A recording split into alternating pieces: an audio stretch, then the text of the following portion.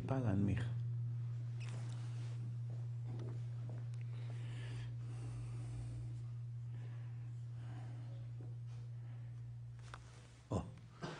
תודה. ערב טוב.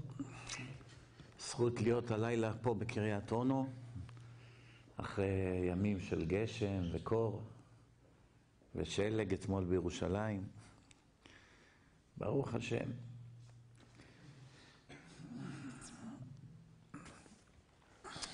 קראנו בשבת האחרונה, בפרשת יתרו, פסוק: ועתה אם שמוע תשמעו בקולי, ושמרתם את בריתי, והייתם לי סגולה מכל העמים, כי לי כל הארץ. סגולה, עם מסוגל, יש לכם יכולת שאין אותה לעמים אחרים. זאת אומרת, אתה רוצה להיות אדם מיוחד, בעל סגולות, בעל יכולות שאין אותה לעמים אחרים, יש תנאי. זה שנולדת לאמא יהודייה, נחמד, זה שאולי קוראים לך כהן, אתה בן של כהן, נחמד. זה שנולדת עם מוח חריף, גם נחמד. אבל כל זה לא שווה גרוש, אם לא תעמוד בתנאי. מהו התנאי? ואתה. מה זה ואתה? דגש. שים לב. attention. Pay attention. שים לב. ואתה, אם שמוע, כן? אם שמוע תשמעו בקולי, לא מספיק להיות דתי בלב, אני דתי בלב. עזוב אותנו משטויות. דתי בלב עונשו כפול. אתאיסט ודתי בלב, דתי בלב מקבל הרבה יותר עונש מאתאיסט. מכיר אותי ומורד בי, הרבה יותר גרוע מאחד שלא מכיר בי. לא מכיר בי ומורד בי, טוב, מה הוא מסכן, נולד בקיבוץ, בסיביר, מעבר להרי החושך. מכיר בי, בא מבית תימני, בית פרסי, בית מרוקאי, כולם דתיים מסביבו, אבא, סבא, היה בישיבה עד גיל מסוים, מכיר בי ובועט בי, אוי, לא מיום הדין, זה הכי הרבה יהיה מסכן, הכי הרבה. זה פשוט, דברים פשוטים, לא צריך להיות גאון בשביל להבין את זה, סברה פשוטה. אומר הקדוש ברוך הוא, ועתה אם שמוע תשמעו בקולי, ושמרתם את בריתי, ברית התורה, כן? וייתם לי סגולה מכל העמים, כי לי כל הארץ. מה זאת אומרת כי לי כל הארץ? מה זה שייך לפסוק? מה זה שייך עכשיו לפסוק? לפעמים יש הרבה פסוקי מפתח בתורה שלא שמים לב לסוף שלהם, למילה שניים האחרונים. מתמקדים בחלק מהפסוק, אבל צריך להבין את כל הפסוק, הכל פה קשור. מה עכשיו בפסוק הזה הכניס הקדוש ברוך הוא עוד כמה מילים בסוף? כי לי כל הארץ. מישהו פה הבין? אם שמוע תשמעו בקולי, אני מבין, זה תנאי. אם תשמעו בקולי, אז אתם תתברכו בסגולה הזאת להיות עם סגולה, עם מסוגל. יש לך יכולות, תפילות שלך יגיעו אקספרס אליי, יהיה לכם השגחה מיוחדת, שמירה, כל מיני דברים, עולם הבא ברמה גבוהה. מבינים מה זה עם סגולה. אחרי שאמר, וייתם לי עם סגולה מכל העמים, אומר, כי לי כל הארץ. מי יכול להבין מה כתוב פה? מה זה שייך? אתם יודעים, עומק של התורה הוא עמוק מאוד. אני משתגע מאלה שלומדים את התורה כמו עיתון. משגע אותי. אין כזה דבר, אתה צריך להעמיק פה בכל מילה, זה בורא עולם מדבר, זה שיא החוכמה, זה שיא השלמות, זה שיא העמקות. כל מילה פה זה עולם ומלואו, מה זה פה? אפשר חודש לדרוש על זה, על הפסוק הזה. במה מדובר, באיזה אופנים. אם היינו רק מבינים מה יש בתורה שלנו, היינו מתעלפים כל שנייה מחדש, כל שנייה. גאון מווילנה, הוא פעם אחת נגע בטעות בקליפות. לא יודע מה זה הקליפות של בוטנים, קליפות, משהו מוקצה, שקילפו, היה על השולחן. קליפות בשבת, אסור לגעת בהן. אחרי שכבר הנחת אותן, זהו, זה נהיה מוקצה. פתאום הוא הבין שהוא נגע במוקצה, מיד התעלף. מהבהלה. אתם יודעים, כשאדם נבהל, הקדוש ברוך הוא עשה לו מנגנון. מה זה נקרא? shut off switch. אתם מכירים את זה שיש קצר עכשיו, שכל הבית יתפוצץ ויישרף, השלטר קופץ? זה הגנה בחשמל, כדי שלא יישרף כל הבניין. כל פעם שעולה הוולטג' בום, הפקק קופץ. אנשים מתלוננים במקום לשמוח שניצלו החיים שלהם. תאר לך שבזמן שאתה ישן עם איזה תנור חימום, אם לא היה את הפקק הזה, כל הבית היה נשרף. תוך כדי שאתה ישן היית חלילה עולה באש. אז הפקק הזה שקפץ הציל את חייך. זה נקרא התעלפות. כשאדם שומע משהו, בום, מתעלף. הגאון מווילנה, איך שהוא נגע בקליפות, מרוב בהלה, הוא קלט מה הוא עשה, נתעלף. אנחנו לא מתעלפים כשאנחנו נוגעים במוקצה. לוקח לנו בדיוק שנייה וחצי לחזור לסדר היום, כי אין לנו גרם של יראת שמיים. זאת האמת. אבל הגאון מווילנה היה לו יראת שמיים הכי גבוהה שאפשר, שיא היראת שמיים. זה אדם שלמד כל החיים שלו בלי הפסקת תורה. היה ישן בקושי שעה וחצי על כל 24 שעות. אז איך שהוא נגע בקליפות, התעלף. אשתו העירה אותו, עוד פעם ראה את הקליפות, עוד פעם התעלף. עוד פעם העירה אותו, עוד פעם ראה את הקליפות, עוד פעם התעלף. היא הבינה שזה כבר יהיה עד מחר. כל פעם שאני אעיר אותו, הוא יתעלף לי. הוא רואה את הקליפות, הוא מתעלף מחדש. שומעים? אז בפעם הבאה, איך שהעירה אותו, היא תפסה את הקליפות והתחילה לאכול אותן. למה? אה, זה ראוי לאכילה? השתבח שמו, זה לא מוקצה. אז הוא כבר לא יתעלף. זה המנגנון שמציל את האדם מלקבל התקף לב, התעלפות. שומר עליך, כי אם לא התעלפות, בעוד דקה כבר יהיה התקף לב. הגוף לא יוכל לעמוד בלחץ. היה מעשה כזה, רבותיי, היה פה, היה, הייתה פה חתונה, לפני איזה עשרים שנה בערך, חתונה. חתן וכלה, אז היה מביאים סק... מעטפות, מזומנים, צ'קים, לא היה עוד את הכספות האלה שהיו שמים. אז עכשיו, מי, מי מחזיק את כל המתנות? אחד ההורים של החתן והכלה מקבלים את הצ'קים, מכניסים הכל בשקית, והחתן וכלה אמרו, יאללה, תכניסו את זה פה מתחת לשולחן, מתחת למפה, בסוף הלילה ניקח את זה. 12 בלילה נגמרה החתונה, מרימים את המפה, חשכו עיניהם. השקית נעלמה. נעלמה השקית. כולם בלחץ, ראית דוד משה, דוד יצחק, דודה, מה, דוד, אבא, אימא, איפה השקית עם המתנות? שום דבר, לא יודעים. שעה מחפשים, הכלה מתחילה לבכות, החתן בלחץ. צריכים לשלם לאולם, לתזמורת, לצלמים, מאיפה נביא עכשיו כסף? איזה אסון. שלוש בלילה כבר, הגיעה המשטרה, הכל, מה יעשו? לא היה כמו מצלמות וכאלה. מה, השוטרים אומרים, אנחנו מאוד מצטערים שככה הסתיימה החתונה, מה אנחנו יכולים לעשות? אין לנו קצה של חוט אפילו. שומעים? הלכו הביתה אבלים וחפויי ראש ביום חתונתם, ביום שמחת ליבם. טוב, לאט לאט מנסים לחזור לשגרה אחרי כזה משבר. כעבור חודש מתקשר הצלם של הוידאו, שלום, אתם באים לקחת את הוידאו ואת התמונות? מוכן? מוכן. הולכים, מביאים את הקלטת וידאו, עושים עכשיו את כל המשפחה כדי לצפות בווידאו, איזו התרגשות. אתם יודעים, הווידאו של החתונה, רואים אותו בדיוק פעם אחת. כל הכסף והעבודה והעריכה, רואים אותו פעם אחת ובזה זה נגמר. התלהבות. קיצור, יושבים ורואים את הווידאו, את החופה ואת הריקודים. עכשיו כבר לפי החתונה, כבר 11 ומשהו בלילה. פתאום האישה אומרת לבעלה, הכלה, איציק, תראי מה השקית עם הצ'קים. זה עוד היה פה. זה ממש כמה דקות לפני שבאנו. באמת רואים את השקית מבצבצת ככה מהרצפה.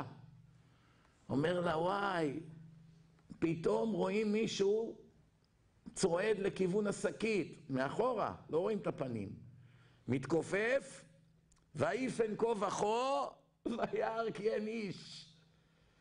תופס את השקית, הכניס מתחת לג'קט, בום. הכניס מתחת לג'קט, השקית.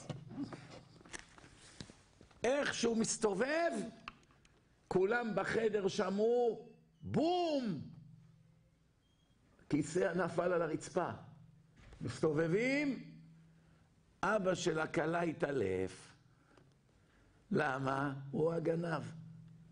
על חם. עכשיו פתאום ראו כל המשפחה מי ימלל את הבת שלו ואת החתן שלו באותו לילה. אתם מאמינים כזה דבר? הוא לא חלם שמישהו יתפוס אותו. אם הוא היה חולם שיהיה לו כזה בושה, הוא היה מסכים? למה הוא התעלף?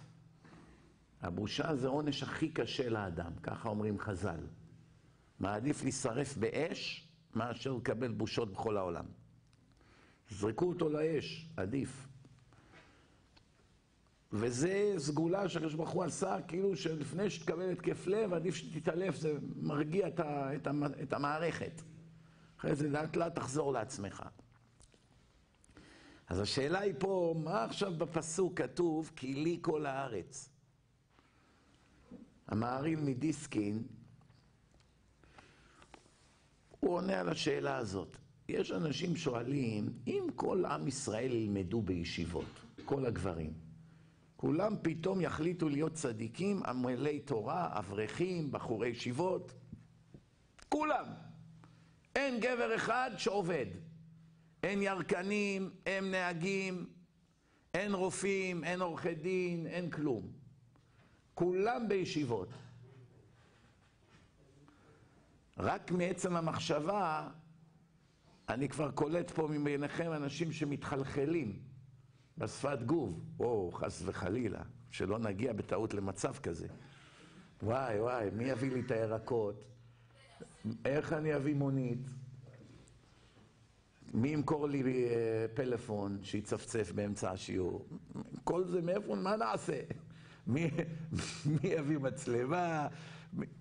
אנחנו לא נוכל להסתדר, מה? אני, עכשיו אני רוצה לנסוע לישיבה, צריך מונית. מי יבוא? צריך רופא לילד, קורונה, עניינים, קוביד. מי, למי נלך? נכון? זה, זה פחד, פחד, צריך חייט, חליפה, לתפור, חגורה. נעליים, ממי נקנה? סנדלר, מי יהיה? מי יסיע את האוטובוסים? מי יבנה את הבניינים של הישיבה? איזה, מי יבוא ינקה בסוף היום? נכון? זה הדבר הראשון שעולה לך בראש, נכון? אומר המהריל מדיסקין, אם כולם ילמדו בישיבות, מי יקיים את העולם? התשובה נמצאת בפסוק. ועתה אם שמוע תשמעו בקולי ושמרתם את בריתי, כלומר אם תשמרו את בריתי, ברית התורה, שנאמר אם לא בריתי יומם ולילה חוקות שמיים וארץ לא שמתי, אם לא יושבים ולומדים תורה יום ולילה אין לעולם דקה קיום, העולם לא יכול להתקיים, בזכות התורה כולכם חיים, יהודים, גויים, כל העולם. בזכות מי הנאצים חיים? בזכות הבחורי ישיבות פה בבני ברק. בזכות מי הערבים של החמאס חיים? בזכות אלה הבני ישיבות של ירושלים. בזכות מי החיזבאללה חי? בזכות אלה שיושבים פה בארץ ועמלים בתורה. כל העולם, כל הפרות, כל הכלבים, כל הציפורים, כל הדגים בים, בזכות מי הם, חיים? בזכות מה יש להם קיום? השם אמר את התשובה, אם לא בריתי, אם לא הברית של התורה של יום ולילה, שלומדים תורה, חוקות שמיים וארץ לא שמתי. לא, שם, לא נותן לעולם להתקיים דקה. פסוק מפורש, זה לא איזה אגדה. ממשיך הקדוש ברוך הוא ואומר, שומעים? כי לי כל הארץ, לא לדאוג, יש מספיק גויים בעולם שישרתו אתכם. אין לך מה לדאוג. מלאכת צדיקים נעשית בידי אחרים. למה היום יהודים צריכים לעבוד בזבל ולשטוף חדרי מדרגות ולהיות אחיות, להחליף לאנשים חיתולים ולעבוד בירקות ולהסיע אוטובוס בעצבים כל היום בפקקים פה ולעבוד בכבישים, לסגור חורים, לעבוד עבודות של עבדים. למה? אני אספר לכם משל, תבינו למה. תקשיבו טוב טוב אבל. המשל הזה יש לו נמשל שנוגע לכל אחד מאיתנו. פעם היה איזה אחד עני, הוא כבר עומד לגבוה ברעב, משתגע כבר. אומר, אם אני תוך שלוש-ארבע שעות לא מקבל אוכל, אני מת. זהו, נדבקה לי הבטן לגב. הולך ברחוב, מחפש, מחפש בית עם מזוזה. כי אם יהיה בית עם מזוזה, אוכל לדפוק, יגיד, תנו לי איזה לחם, משהו לאכול, אני מת. מצא איזה בית יפה, עם מזוזה גדולה. אמר, או, oh, מפה יבוא עזרי. מאין יבוא עזרי? עזרי מאימא וילה. דפק על הווילה, פתח איזה עשיר שמנמן, מדושן, עונג, פותח את הדלת עם החלוק, שלום אדוני, מה אתה מפריע לי ככה? אומר לו, אני מצטער שהפרעתי, כמו שאתה רואה, אני אני מסכן וחי ברחובות. אם אני לא מקבל אוכל תוך שלוש-ארבע שעות אני מת, זה ממש פיקוח נפש. תאמין לי שלא הייתי מעז לדפוק לך בדלת אם לא הייתי עומד למות. אם תוכל לתת לי משהו לאכול, זה באמת יהיה, יהיה הצלת נפשות. העשיר אמר לו, תראה, באת למקום הנכון, אני אתן לך ארוחה, חזק וברור, אני אתן לך ארוחה שבחיים שלך לא אכלת. משהו משגע, אתה תוכל לאכול, להיות שבע יומיים. אבל אני איש עסקים, אין אצלי בחינם. אין אצלי בחינם.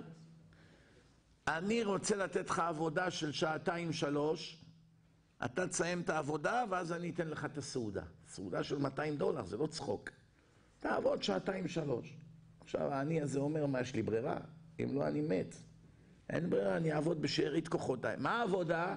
יש לי פה בגראז' מדפים, תוריד את כל הסחורות, כל הקופסאות שימורים, מזוודות, קופסאות, תנקה הכל מאבק, תנקה עם סמרטוט, תסדר הכל מסודר כמו שאני אראה לך, תסיים ואני אתן לך את הארוחה.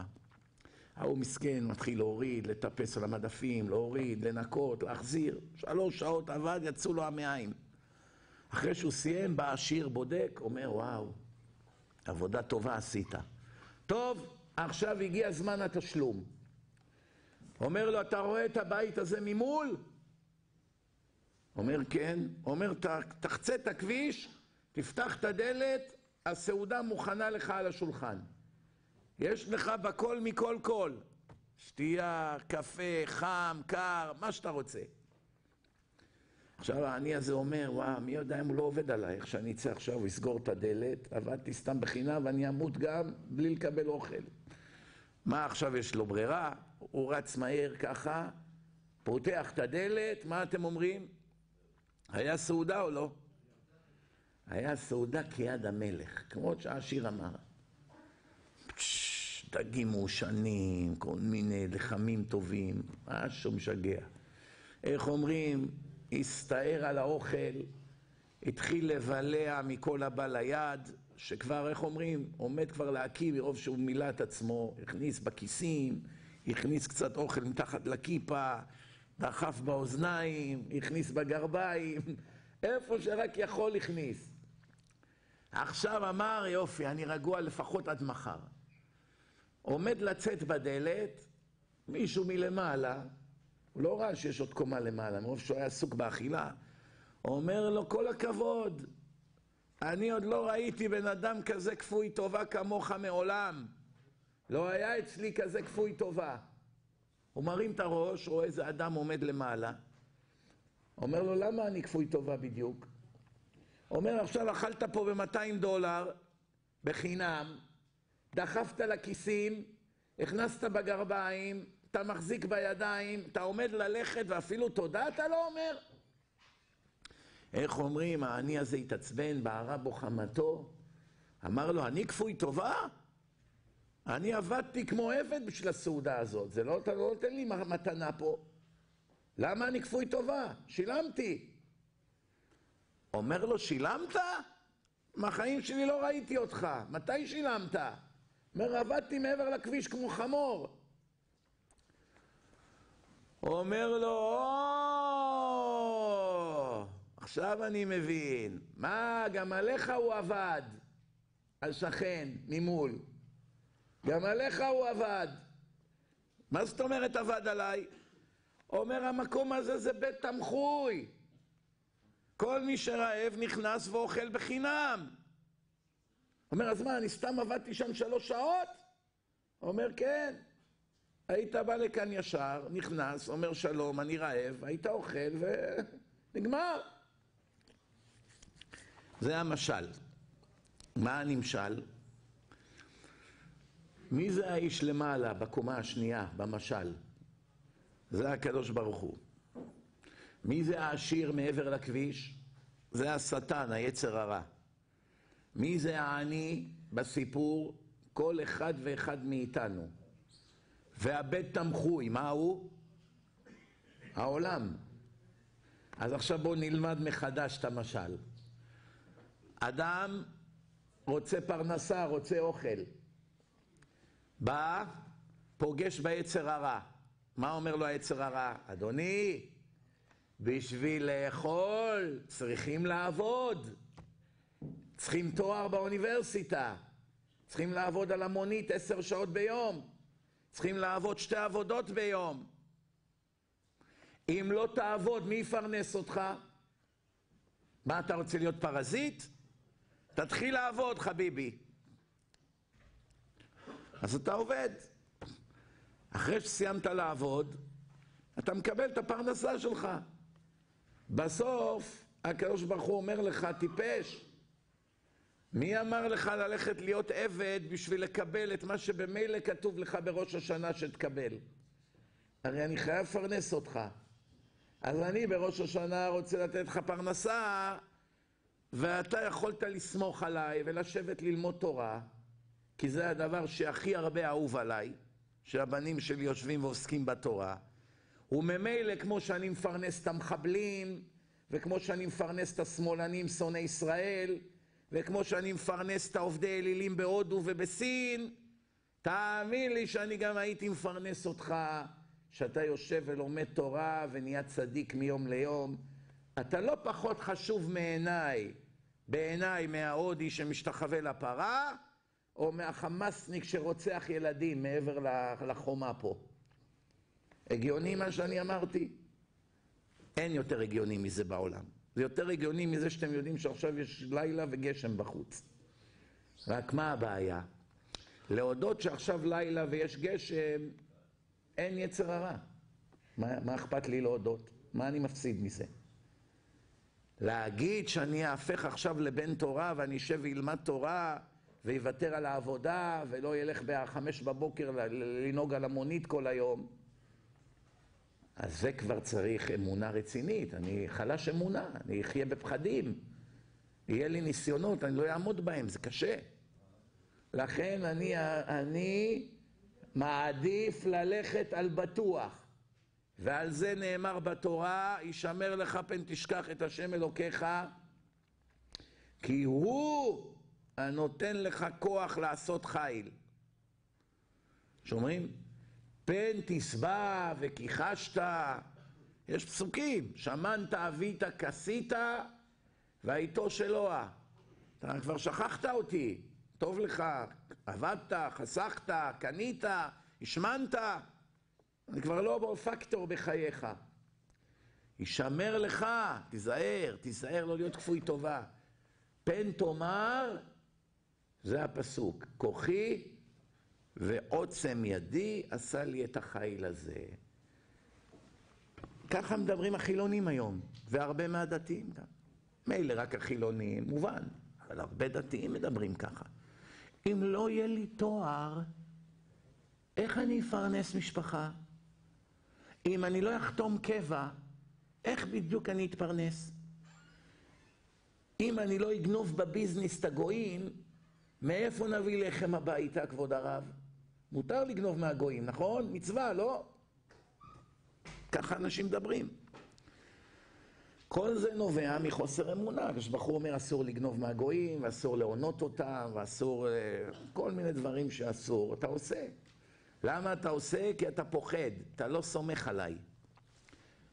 למה הדבר דומה? יש אבא ובן, אבא ובן,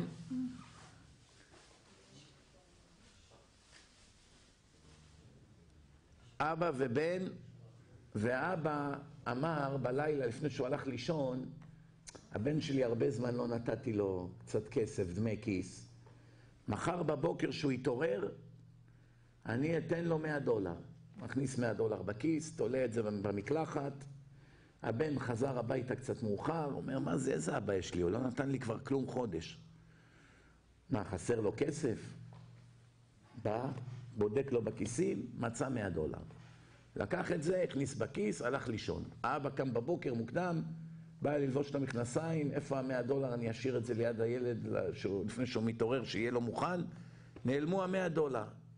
ורק האבא והבן בבית. והוא יודע שהוא הלך לישון, זה היה במכנסיים. אז הוא מבין שהילד גנב את הכסף. כואב לו, צר לו, בסדר, לא אומר כלום. הילד חושב בבוקר, איזה מזל שגנבתי את המאה דולר, שאני יכול ללכת לקנות לי קצת דברים, ממתקים, עניינים. אחרי חודש, האבא אומר לבן, תדע לך בני, אני רציתי להתחיל לתת לך כל יומיים מאה דולר. הכנתי מאה דולר ואתה גנבת אותם. עכשיו שראיתי שאתה גונב לי כסף, אתה לא סומך עליי שאני אתן לך, אתה לא סומך עליי, אתה, אתה חושב שאני אשאיר אותך לגבוה ברעב, נכון? אני אבא שלך, יפקיר אותך. כיוון שאתה לא סמכת עליי ועשית לעצמך דין, תסתדר לבד. כוחי ועוצם ידי עשה לי את החיל הזה. לך תעבוד בכבישים ובביוב, ותהיה עבד כל החיים שלך. הבנת? יש את אחמד הישמעאלי שעובד בבטון, ויש את איציק התל אביבי שגם הוא עובד. למה? אחמד, התורה אמרה, לישמעאלים יש לכם תכלית, לטפל בבני ישראל. בשביל זה נבראתם. אתם צריכים לטפל בעם ישראל, לטוב ולרע. מה זה לטוב? אתם תבנו להם בניינים, תבנו להם כבישים, תנקו בתי חולים, תהיו מלצרים בכל מקום. זה פסוק בתורה. שהגר ברחה משרה, הרי כתוב מעשה אבות סימן לבנים. שהגר ברחה משרה, הגר זה אימא של הערבים, שרה זה אימא של היהודים. שהגר ברחה משרה, בא המלאך ואמר לה, לאן את הולכת? אמרה, מפני גברתי אנוכי בורחת. היא בורחת. היא לא נחמדה אליי, שרה. היא רודה בי, בקשיחות. מה אמר לה המלאך? זה פסוק בתורה, רבותיי. שובי אל גבירתך והתעני תחת ידיה. בשביל זה באת לעולם. תפקיד שלך לשרת את היהודים. באותה מידה, אם היהודים ירגיז, ירגיזו אותי ויעשו דברים שלא מוצאים חן בעיניי, אני אדאג שאתם תטפלו ביהודים בדרך שלילית. מה הפירוש? פיצוצים, יריות, זורקים על המשטרה אבנים וכיסאות והם בורחים כמו שפנים. למה הם בורחים? לא באשמתם. הם יכלו להוציא אקדחים ולקצור את כולם. ככה עשו עכשיו בגבול ירדן. באו 25 סוחי סמים, קצרו את כולם, הרגו 25. ככה צריכים לעשות. כל מדינה נורמלית הייתה צריכה ככה להתנהג. אנשים מנסים להיכנס בלי רשות למדינה, חותכים את הגדרות, מטפסים על החומה, יורים באוויר, הם ממשיכים, יורים והורגים אותם. ככה צריך להיות. בן אדם מתקיף שוטר, זורק עליו כיסא, זורק עליו אבן, מיד יורים עליו, הורגים אותו. ככה צריכים לעשות. מחבל קיבל כדור, נפל על הרצפה, יורים עליו עוד שלושה כדורים כדי שלא יקום בטעות. כי אין בהם אמונה. גם אם הוא קיבל כדור אחד, יש לו עוד אקדח, הוא יורצי ויירה בך. או שיש עליו חומר נפץ, ילחץ על השלט ויפוצץ את כולם. יורים מהר, שהוא על הרצפה. אין כזה דבר, הוא כבר לא מהווה סכנה. הוא בא לרצוח, הוא הוכיח את כוונתו, יורים עליו ברצפה. הבנתם? אפילו אם הוא מרים ידיים. יש דינים, יש אמת, יש בוס לעולם, שמתעלמים ממנו, חיים בפרנויה, בפחדים, סובלים, משלמים מחיר יקר. אם הייתה פה מדינת הלכה, המצב היה נפלא. כיוון שיש פה מדינה שמורדת בבורא עולם, מדינה של כפויי טובה, פוליטיקאים רשעים, רוצחים ארורים, שרוצחים את התורה ואת הישיבות יום ולילה, ואת הקצת אוכל של הבני תורה מוציאים להם בכוח מהפה כדי לתת את זה לאחים המוסלמים, שירצחו אותנו יותר מהר. כיוון שעושים ככה, משלמים ביוקר, רבותיי. הקדוש ברוך הוא לא מעלים ממנו. לא רציתם לתת מיליארד שקל לחרדים בשנה, מיליארד שקל, 20 אחוז מהעם יש לו כיפה על הראש כמעט. מיליארד שקל זה כלום לתקציב המדינה, והרבה חרדים משלמים מיסים, דתיים, עובדים, בעלי משרדים, נדל"ן, חרדים קונים דירות, גם לילדים שלהם משלמים 8% מס כל פעם שקונים דירה, משלמים 17% מע"מ על כל קנייה, סכום אדיר מהכנסות המדינה בא מהחרדים, יש להם עמותות, יד שרה, יד זה, יד זה, חוסכים עשרות מיליארדי שקלים למדינה, שהמדינה הייתה צריכה לטפל בכל מיני נכים וכל מיני משותקים וכאלה. חרדים תורמים למדינה יותר מכל מגזר אחר, מכולם. שלא תיתנו לאף אחד לעבוד עליכם, ואתם לא רוצים לזרוק להם עצם, מיליארד שקל, שבזכותם אתם חיים? בזכות הישיבות שלהם אתם חיים, בזכותכם יש לכם לוויות, בזכותם אתם מתחתנים, בזכותכם אם אתם צריכים גירושים הם מטפלים בכם, אם אתם צריכים תומכי שבת הם מביאים, לכם אוכל הביתה, אם צריכים לאסוף את החלקי גופות שלכם אחרי שמחבל פיצץ אתכם הם באים ומרימים את הראש ואת הידיים ומביאים אתכם לקבורה, אתם לא רוצים אותם, נכון? קצת עצם לזרוק להם, שבו בשקט, קחו מיליארד שקט, תהנו ותעזבו אותנו בשקט, גם זה אתם לא מוכנים. אין בעיה, אין בעיה. אתם תיתנו פי חמישים לאחים המוסלמים שצועקים כל יום איטבח אל יהוד. לא נשתוק עד שלא נשחט את כולכם. לא תיתן לרב בישיבה לצדיק? אין בעיה, תיתן פי חמישים לאחמד הרוצח. שיחייך לך בפנים, ייקח ממך את הכסף ומיד יעביר אותו לחמאס. ויחייך לך בפנים ובעוד עשר דקות יבוא לשחוט אותך ואת אשתך ואת הילדים שלך, טיפש מטופש. אתה לא רוצה תורה? תשלם לרוצחים הישמעאלים. עבד שלהם תהיה. יצחקו עליך, ירקו עליך ברחובות, יזרקו עליך כיסאות, תברח כמו שפן. ירוצו עליך ברחובות, ייתנו לך בעיטות ויצלמו את זה ויעלו את זה בכל הרשתות. ותראה את התגובות, איך הם צוחקים פה על היהודים. ומי משלם להם כדי לעשות את זה? אלה ששונאים את החרדים. הם חושבים שידם על העליונה, הם לא מבינים שהם יורים לעצמם ברגל. השוטים האלה, שונאי התורה.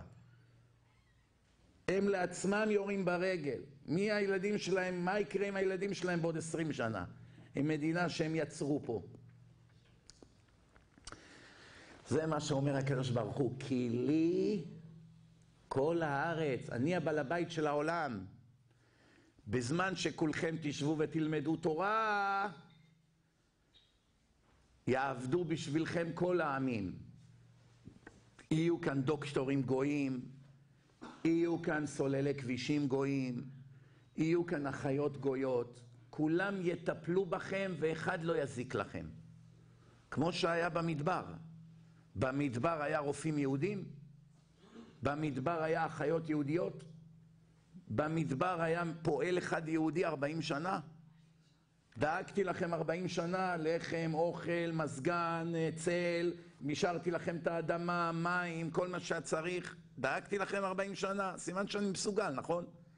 אבל אתם לא רוצים, אין בעיה, תהיה ישמעאלי, תעבוד. תקום בחמש, במקום ללכת לבית כנסת ולישיבה ללמוד תורה ולגדול ברוחניות ולתקן את המידות ולהרוויח עולם הבא, תהיה משרת.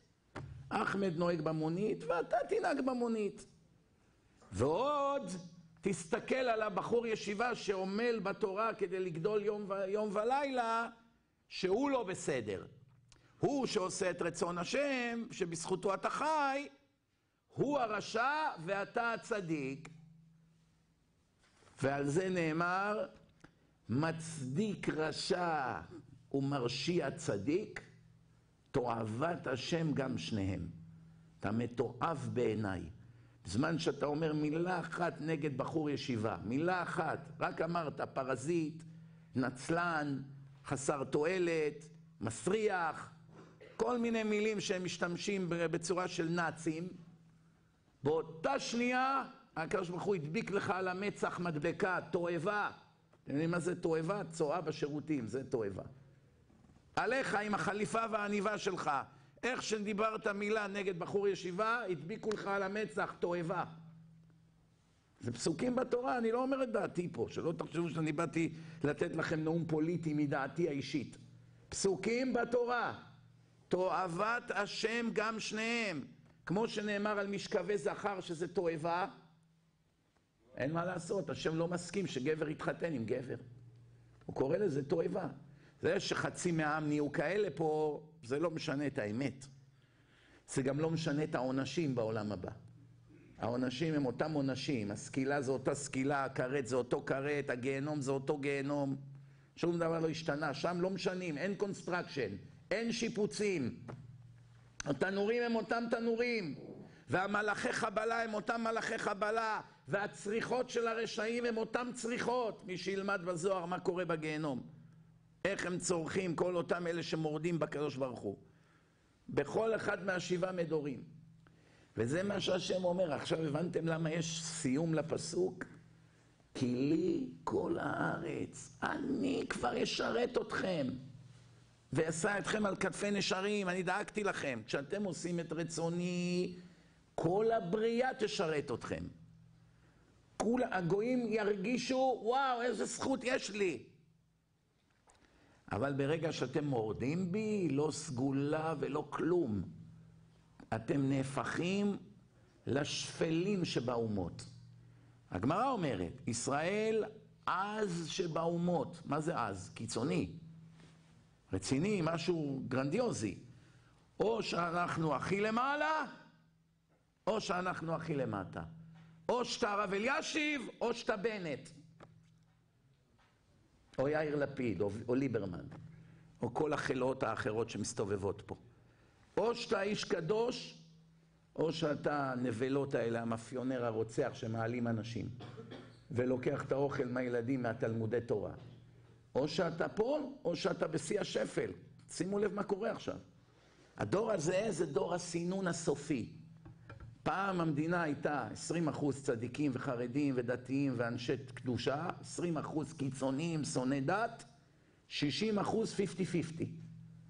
כל הדור הזה שגדל פה עד לפני 20-30 שנה, כולם היו חצי דתיים. צמים בכיפור, אוכלים בפסח מצות, לא אוכלים חמץ, עושים לפעמים קידוש, מקפידים על בשר כשר, לא נוגעים בחזיר, שמים מזוזות בבית, ברית מילה מביאים מוהל. עושים הרבה דברים, החילונים של אז היו עושים הרבה מצוות. היית בודק אותם על המשקל 50-50, תורמים לישיבות, תורמים לבית כנסת, היה להם הרבה זכויות. אבל עכשיו הקדוש ברוך הוא אמר, די, אי אפשר כבר להיות 50-50, אתה צריך לבחור צד. או שאתה הולך all the way, כל הדרך לצד החיובי, או שאתה מדרדר לשפל המדרגה, מצביע שינוי. אחד מהשתיים. אי אפשר להיות 50-50. המסורתיים נעלמים. האמצע מסתנן, זה גם כן הבטחה בתורה, לפני ביאת משיח, הקדוש ברוך הוא יהיה חייב להפריד שני צדדים. צד של האמת, שינצל, והצד של השקר שיאבד לעד ולעולמי עולמים. אם בן אדם יש לו 50-50, איך השם יעביד אותו? איך? הרי הוא עושה מצוות, אותו חילוני, הוא גם לא שונא דת. הוא מכבד אה, בחורי ישיבות, הוא רק מחלל שבת ועושה כל מיני עבירות, אבל אי אפשר להגיד עליו זה מגיע לו להימחק. זה לא פייר, מה שפייר פייר. יש לו 50% זכויות, מה אתה תעביד אחד כזה? מצד שני, מה אתה תיתן לו לשבת עם כל הצדיקים בעולם הנצח? גם לא מתאים, הוא מחלל שבת. הוא מורד בבורא עולם. הוא עושה עבירות עם בחורות, איסורי כרת, כל מיני דברים כאלה. אז זה בעיה. אוי לי מיצרי, אוי לי מיוצרי. רגל פה, רגל שם. אי אפשר. זה מה שאמר אליהו הנביא, רבותיי, לכל העם. היה 450, היה יותר מ-800 היה, אבל שם מדובר על 400 נביאי הבעל. כל מיני בבות מזויפים, כל מיני שרלטנים נוכלים. גם היום יש כאלה באלפים. אליהו הנביא עשה את מה שעשה בהר הכרמל, זה מקום המועד לפורענות, לא סתם הייתה שם שריפה ונשרפו שם אנשים מהכביש, מאה מטר מרחק נשרפו אנשים, מי שמע כזה דבר? שריפה על ההר, אוטובוס של שוטרים עובר והם נשרפים מהאש על ההר. איך הגיע עד לכביש, אני לא מצליח להבין. זה מקום ששם אליהו הנביא שחט ארבע מאות בבות נוכלים. שחט אותם, נהרות של דם היה שם. זה היה לפני 2400 שנה. אליהו הנביא אמר להם, רבותיי, שלוש שנים לא ירד כאן גשם. שלוש שנים אנשים התעלפו, לא ירד טיפת גשם. היום אנחנו רואים כבר שבועיים כל יום גשם. לא ירד שלוש שנים טיפת גשם, התייבש, כל הרצפה נהייתה צהובה, אין עצים, אין עלים, אין לכבשים מה לאכול, כולם מתים ברעב, הבארות התייבשו, אי אפשר לייבא מים מטורקיה, לא היה משאיות, לא היה אוניות כמו היום, לא היה מטוסים, אנשים כבר חפרו קברים ושוכבים שם. כל רגע אני אמות מצמא, אין מה לשתות, תן נמות בשקט, כבר נהיה בתוך הבור. בסוף הקדוש ברוך הוא אמר לו, תשמע, הגזירה שלך היא יותר מדי קשה, כבר שלוש שנים סובלים פה כולם, תחזור. תחזור לעיר. חזר אליהו הנביא, אמר לכל הארבע מאות האלה, תביאו אתם קורבן, תביאו איזה פר אחד, ואני אביא פר אחד, ואנחנו נראה עם מי הקדוש ברוך הוא, איתי או איתכם. אמר להם, רבותיי, תראו, אני שופך הרבה מים על הקורבן שלי. תראו, אני מציף את הקורבן שלי במים. ותראו שתרד אש מן השמיים ותשרוף את הקורבן שלי עם כל המים. המים הרי זה מתנגד לאש. מים מתנגדים לאש. ואתם תתפללו, תקראו לאלוהים שלכם, לכל המזויפים שלכם, תקראו לפסלים שלכם, בואו נראה מי יושיע אתכם. והם עומדים וצועקים, מה לא? בסוף הביאו שני פרים, אחד, אחד צריך ללכת אליהם ואחד צריך ללכת למזבח של אליהו הנביא. שומעים? הפר, הפר שהיה צריך ללכת למזבח שלהם, הוא לא הסכים ללכת. בא אליו אליהו הנביא, אומר לו, לך. אומר, אני לא מוכן. למה?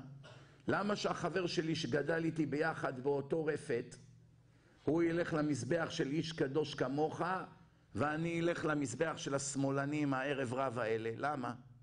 זה לא פייר, מה אני עשיתי? אני והוא גדלנו באותו רפת, אכלנו מאותו עשב.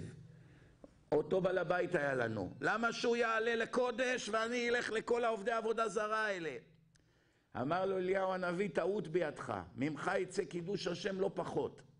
שיראו שהחבר שלך עולה באש, יוצאת אש מהשמיים, ועליך לא בא שום אש, בזכות זה שיש פה שניים, יעשה נס, וכל העם יחזור בתשובה. שכנע אותו ללכת. בקיצור, היו שני פרים, חתכו אותם, ניתחו אותם, ירדה אש מן השמיים על הקורבן של אליהו. ואז אליהו אמר לעם, זה הפסוק שעליו דיברתי, עד מתי אתם פוסחים על שני הסעיפים? במילים אחרות, עד מתי אתם תהיו דתיים מזויפים, מה שנקרא מסורתיים? רגל פה, רגל שם, רגל בישיבה, רגל בחוף הים. אומר להם אליהו הנביא, אם השם הוא האלוקים, לכו אחריו. ואם הבעל הוא האלוהים, לכו אחריו. תהיו אנשים אמיתיים. אם יש בורא לעולם והתורה אמת, תלכו אחריו באש ובמים. בכל. לא מה שנוח. ואם אין אלוקים והתורה זה שקר, תלכו תהיו גויים גמורים. אל תהיו לי מסורתיים. מספיק עם השקר הזה. מסורתי פירוש, אתה מבין שאני קיים. אם אני קיים, אתה חייב ללכת איתי עד הסוף. לא חצי איתי, חצי לבגוד בי. זה לא עובד ככה. זה מה שהשם אומר. בזמן שישראל עושים רצונו של מקום, בזמן שעם ישראל שומעים בקול השם וכולם בתורה ובאמת, נעשית מלאכתם על ידי אחרים. באים לך עם כזה, ואלה מפרנסים אותך, ואלה מוכרים לך מים, הכל יסדרו בשבילך. אצלנו היה בישיבה בחור, היום הוא אב בית דין פה בארץ, גדול, גדול בתורה, אדם גדול מאוד הוא נהיה. מועל, שוחט, סופר, מה לא. קיצור, מהיום שהוא הגיע לישיבה, עד היום, במשך שלושים שנה, עברו בישיבה כמה אלפי בעלי תשובה, שגדלו בתורה הרבה מהם, נהיו גדולים, אבל מתמיד כמו הבחור הזה לא היה. הוא פשוט לא היה מפסיק ללמוד. אין לו הפסקת בוקר, אין לו הפסקת צהריים, אין לו הפסקת לילה, אין לו שבתות, חגים, כל הזמן לומד. אדם עם כוח רצון אדיר, עקבי, יסודי. אין חוכמות, אם אין אני לי מי לי. אתה רציני, אתה תצליח, אין... אז תוספות אומר, אלף נכנסים לבית המדרש, אחד יוצא תלמיד חכם. אבל חזקה שאם אדם אומר, אני הולך, אני אלך להיות תלמיד חכם, אני הולך להשקיע את חיי בתורה, מובטח שהוא יהיה תלמיד חכם. אין כזה דבר, כי זה רצון השם. בקיצור, רבותיי, הבן אדם הזה התמיד, התמיד, התמיד, נהיה ענק בתורה. עכשיו הוא, היה לו מכונית קטנה כשהוא היה אצלנו שם בניו יורק. מכונית קטנה, טויוטה, מצ'וקמקת, איזה 15 שנה על הכביש. פה שהיא נוסעת. קנה אותה בכמה מאות דולרים, ונוסע איתה שנים. שנים, לא צריך להכניס אותה למוסך, לא כלום. אני אומר לו, מה, ברקסים, שום דבר, נוסע, נוסע, נוסע, נוסע. מרוב שהוא היה עמל בתורה, כשברוך הוא הסיר ממנו את כל. כל היסחי הדעת. כתוב כאן, רבותיי, תשמעו טוב, כל המקבל על עצמו עול תורה, מעבירים ממנו עול דרך ארץ. אם אתה מקבל על עצמך להשקיע את כל החיים שלך בתורה ובקדושה, כל הדברים שאדם רגיל צריך לעבוד בשבילם, סידורים, משרד הרישוי, אה, הפקדות בבנק, ללכת לחייט, ללכת לרופא, לקחת את הילד לקופת חולים, להביא אותם, להחזיר אותם, בית ספר, כל הכאב ראש הזה שיש לכל אדם בשר ודם, הקדוש ברוך הוא מסיר ממך. פרנסה מסדר לך, שליח, איזה עשיר, תן לי לעשות איתך מימון, שכר וזבולון. מסדר לך פה, מסדר לך שם. בקיצור, הכל מסתדר לאנשים האלה הרציניים שעמלים באמת בתורה. לא רגל פה, רגל שם. בקיצור, יום אחד הוא אומר לי, אתה, אתה מאמין לי שאני הוצאתי רישיון במדינת ניו יורק בלי ללכת למשרד הרישוי לחדש אותו? אני אומר לו, לא יכול להיות. זה מעולם לא קרה ולא יקרה גם. מה זה, אלף בדיקות הם עושים. אתה בא, צריך להראות תעודת זהות, עושה בדיקת עיניים מחדש כל פעם שאתה מחדש את הרישיון. מה פתאום, למי ייתנו תעודה בלי לבוא? הוא אומר לי, תאמין לי, נתתי את הרישיון שלי למישהו, ואמרתי לו, לך תחדש לי את הרישיון. הקדוש ברוך הוא טמטם את הפקיד, חידש לו את הרישיון בלי שהוא יבוא. זה לא קרה מעולם בארצות הברית, אני מבטיח לכם, מעולם זה לא קרה. עשרות, מאות מיליוני אנשים חדשים את הרישיון כל שנה, שנתיים, זה מעולם לא קרה ולא יקרה לעולם. אתם יודעים איזה זהירים הם? כמה שאלות, תראה לנו טפסים, איפה אתה גר, חשבון מים, חשבון חשמל, מיליון שאלות. רישיון נהיגה באמריקה זה תעודת זהות. לא יודע איך זה בארץ, אבל זה, אפשר לפתוח עם זה חשבונות בנק, להעביר כספים, להתחתן עם זה, הכל, זה כמו פספורט לכל דבר. כן, הם זהירים מאוד. אמרתי בלב שלי, תראה, מרוב שהוא עמל בתורה, כשברוך הוא לא רוצה לבזבז לו חמש-שש שעות ללכת לשבת שם עם כל הגויים וזה, בתור. בקיצור, יום אחד הוא החליט לעשות עלייה לארץ. אז כשאתה עושה עלייה, אתה מוכר את הקצת שיש לך. אז היה לו את המכונית המצ'וקמקת הזאת. אז אחד מהבחורים בישיבה אמר, אני אקנה ממך את האוטו. אמרתי בלב שלי, זה האוטו הזה כבר נוסע עשר שנים בניסים. מה יקרה עכשיו שהצדיק הזה יעביר את האוטו לצדיק השני? אמנם גם כן צדיק, אבל לא ברמה של זה. מעניין מה יהיה, ככה אני חושב לעצמי. ההוא עלה על מטוס, חזר עם משפחתו לארץ, הצדיק השני קנה את האוטו, למחרת, אחד בצהריים, אני רואה המכסה מנוע בחניה של הישיבה פתוח, וכל השכונה עדים. פוצץ הרדיאטור. אני בא, אני אומר לו, מה האוטו שלך חנוק? אני אומר לו.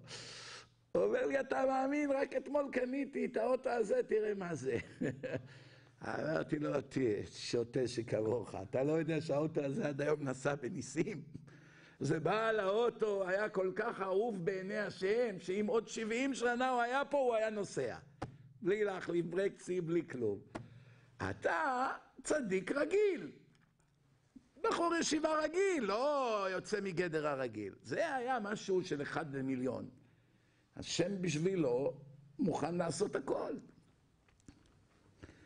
זה מה שכתוב פה בפסוק. כל הדרשה שנתתי לכם עד עכשיו זה מארבע מילים פה.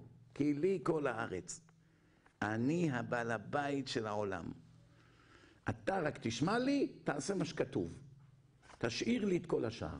תשאיר לי את הפרנסה, תשאיר לי את הבריאות, תשאיר לי לטפל בקורונה, תשאיר לי לטפל בעליית המחיר, תשאיר לי את הכל.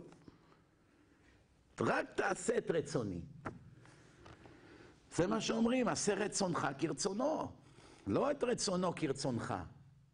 יש כאלה אומרים, אני, שהשם ייתן לי זה וזה וזה, אז אני גם אחזור בתשובה. זה אחד אמר לי, מה, אתה גיבור, שומר שבת עם משפחה, בשולחן, אוכל טוב, האישה מבשלת, שירים, אורחים, בוא נראה אותך כמוני, אני רווק, בן חמישים, לבד בבית, צריך להכין לעצמי ארוחות וזה, מה אתה חושב, שזה עונג כזה גדול, השבת?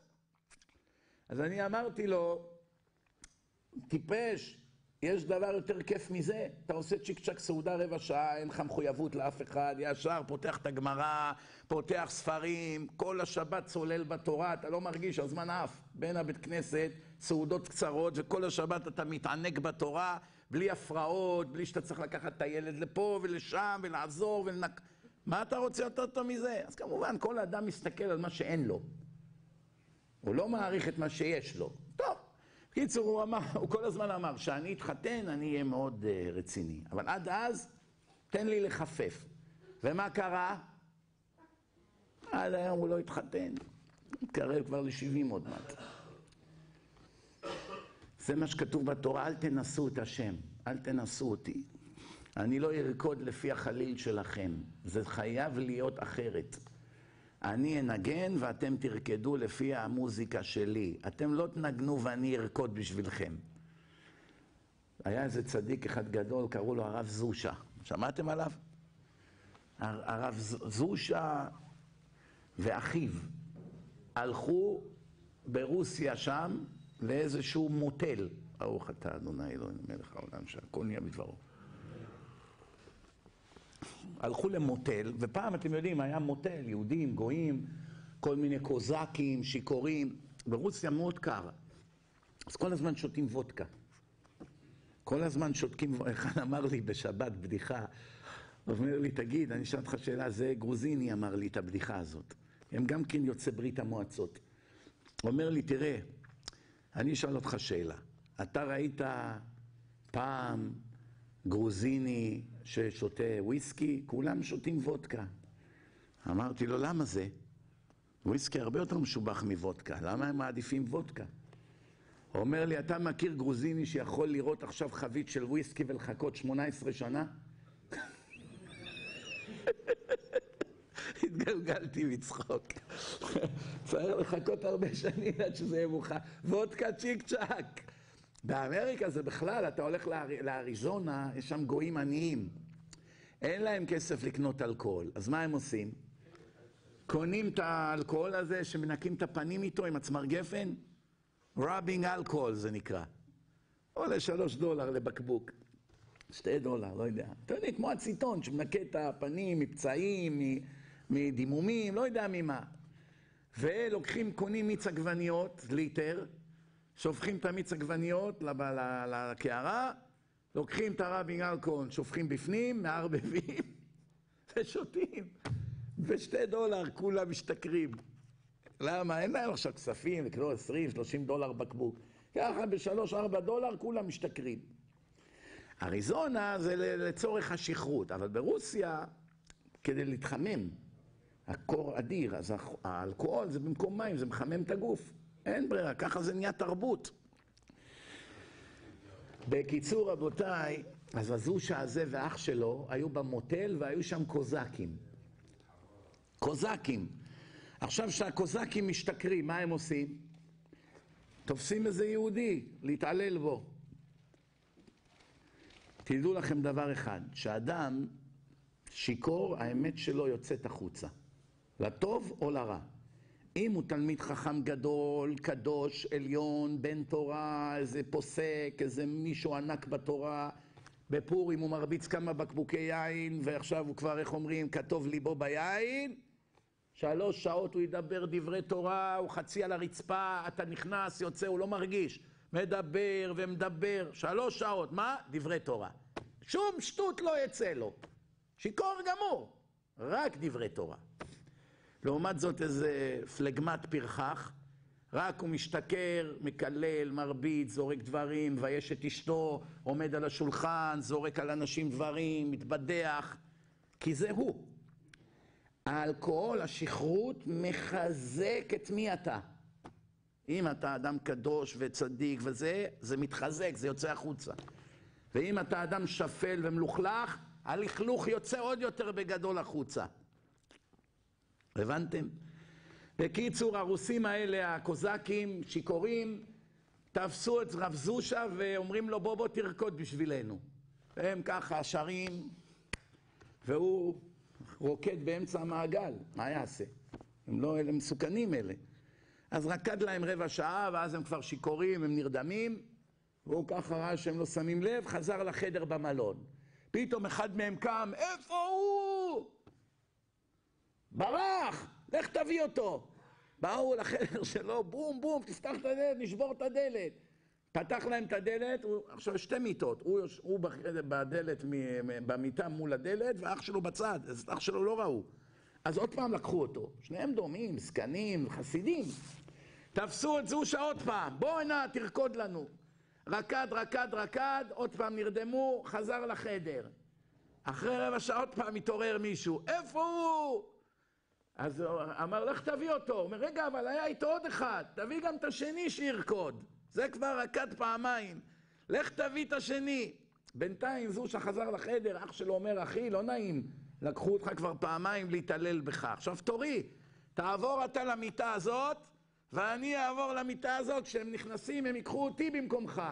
בא השליח הקוזק, אומר, אותך כבר לקחנו, בוא אתה שם. אז הוא אומר לו, מה אני אעשה? אני רציתי להשתתף איתך, נושא בעול עם חברו, לא? אז הוא אומר לו, הקדוש ברוך הוא כתב בראש השנה שביום כך וכך, בשעה כך וכך, עד שעה כך וכך, זו שירקוד. לא יעזור שום דבר. לך לא כתוב שאתה צריך לרקוד ביום הזה, אבל השם עליי כתב שאני ארקוד בשביל השיכורים הארורים האלה, האנטישמים. מה אפשר לעשות? צריך לרקוד. אם זה רצון השם, לרקוד. לקבל ביזיונות, יש דבר יותר טוב בחיים מביזיונות. אתם יודעים, שעה של בושות וביזיונות זה יכול להיות שקול כנגד שנה בגיהנום. שנה באושוויץ. אם עכשיו היו באים לאחד היהודים המסכנים ששמו אותם בתאי גזים והיו במחנות עבודה כמה שנים, אומרים לו עכשיו אנחנו נעשה עליך כתבה בטלוויזיה הגרמנית, בושות כאלה נעשה לך, נמציא עליך סיפורים, עלילות, נהפוך אותך למפלצת, אין אחד בגרמניה שלא ייגאל ממך. ואנחנו כנגד זה מורידים לך שנה מאושוויץ. שנה ממה שאתה עובר פה. איזה עסקה. נכון, אתה מקבל. בושות נוראיות, אבל שנה עכשיו לא בועטים בך, לא מרביצים לך, לא, לא עובד משש בבוקר עד עשר בלילה, עובד כמו חמור, בקור, בלי אוכל. שנה מורידים לך, עבור השעה הזאת בושות. אתם יודעים, הרמב"ן, רבי משה בן נחמן, מגדולי המקובלים שהיו לפני 750 שנה, הוא כותב בהקדמה שלו לספר איוב. שומעים מה הוא כותב? הוא מדבר על איסורי איוב. מתו לו ילדים, איבד את כל כספו, נהיה חולה, כל החברים שלו ברחו ממנו. החיים שלו נהפכו לגיהנום עלי אדמות. ובסוף הרמב"ן כותב, רבותיי, הרמב"ן ידע מה קורה בשמיים, זה לא רבנים של היום. יש לו ספר, שער הגמול. חייבים כל אדם שרוצה לדעת מה הולך בשמיים, ללמוד טוב טוב את הספר הזה. מה זה עולם הבא, מה זה גיהנום, מה זה כף הקלע, מה זה כל הדברים האלה. כותב שם הרמב"ן, ואף על פי שאיוב עבר את האיסורים הכי קשים שאפשר לעבור, שבעים שנה של איסורי איוב, שבעים שנה של האיסורים שאיוב עבר, לא ישבו לשעה אחת בגיהנום. שעה אחת בגיהנום. זה הרמב"ן כותב. עכשיו תאר לך בן אדם שמקבל 500 שנה גיהנום. אתם מנסים להתחיל להבין מה זה להיות מחלל שבת? מה זה להיות גנב, מה זה להיות נואף, מה זה להיות כל הדברים האלה? אתם יודעים מה זה? להיות שונא השם, להילחם בישיבות, לאמלל לחרדים שלא יהיה להם אוכל, שלא יוכלו ללמוד תורה, לסגור ישיבות, לעזור לשונאי ישראל, למוטט אותנו מבפנים. אתם יודעים מה, מה מחכה לאנשים האלה? לבזות תלמידי חכמים, מה שהם עושים באינטרנט, בטלוויזיה המטומטמת שלהם. מה מחכה לאנשים האלה? אני אגיד לכם, תראו, אם היה אפשר, אני הייתי מוכן לתת את כל כספי כדי לראות את הסוף של הנבלות האלה. אלה שעכשיו רודים בנו, יושבים בכנסת, השתלטו על המדינה ערב רב. אפילו על אחד מהם, לראות מה השם יעשה לו, הייתי מוכן לתת את כל כספי. אבל אין לנו זכות. לראות במפלתם של הרשעים זה פרס.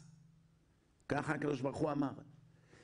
אם אתה צדיק, אני אתן לך צ'ופר, שאתה תראה את הסוף של הרשעים, שנאמר, ועשותם, ועשותם אפר, ועשותם הרשעים אפר תחת כפות רגליכם.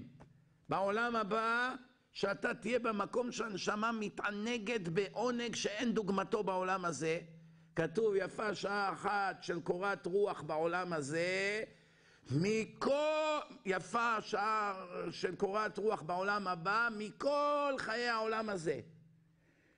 כל העולם הזה עם כל התענוגות של כל האנשים וכסף ונשים וטיולים ואוכל ומוזיקה, מה שאתה רק רוצה, של כל האנשים, מהיום שהם נולדו עד היום שהם נפטרו כבר ששת אלפים שנה ביחד לא ישווה לשעה אחת בגן עדן, שהנשמה תקבל על שמירת המצוות. זה דבר שלא נתפס. שעה אחת בעולם הבא עולה על כל תענוגות העולם הזה של כל האנשים ביחד. לא של בן אדם אחד. זה הר ענק של עונג. זה רק שעה אחת. עכשיו תכפיל את זה באין סוף. שווה להיות צדיק. לעומת זאת, זה גם הולך הפוך בעניין הרשעים. אז הקדוש ברוך הוא אומר, אתם שאתם תתענגו, תמיד יהיה אפר שרץ תחת הכפות רגליים שלכם. אפר. מה זה אפר? מה עכשיו, אני עכשיו יושב מתענג, נהנה מזיו השכינה, מסתכל על הרצפה, רואה אפר. כמו אפר שמאפרים מהסיגריות, אבל לא קצת. כל הרצפה, אפר רץ. מה זה האפר הזה? זה האפר של הרשעים שנשרפים בגיהנום. בכוונה אני מעביר את זה תחת כפות הרגליים שלכם. שבכל רגע שאתם מתענגים, תזכרו מה קורה לליברמן ולכל חבריו. תזכרו, אלה שעינו אתכם בזמן שלמדתם תורה, הנה הם עכשיו. אפר תחת כפות רגליכם. טיטוס ואמן ואנטיוכוס וליברמן ולפיד ואבא של לפיד.